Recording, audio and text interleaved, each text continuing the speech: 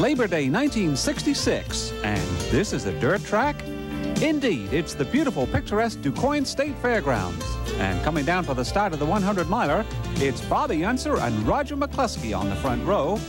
Roger leads the opening lap, but he'll soon be forced out as Bobby leads until the one quarter mark.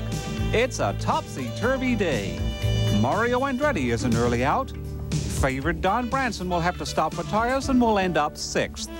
A.J. Foyt will have an even worse time of it and will finish back in seventh.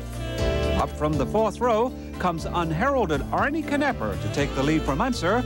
All the way from 12th comes Bud Tingelstad, while newcomer Dick Atkins is third.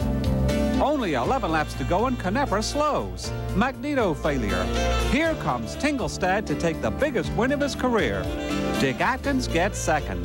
Meanwhile, to the victor goes the spoils, and there isn't a happier winner around. For Speed Week, this is Donald Davidson.